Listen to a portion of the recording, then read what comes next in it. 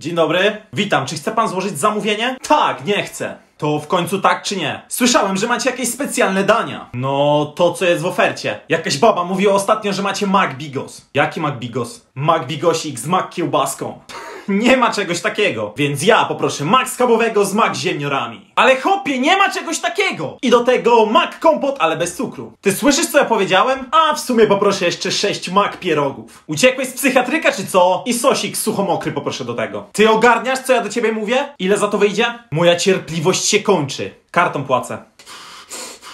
Już mogę przyłożyć? Za chwilę to ci zrobię Mac mielonego z mordy, kur...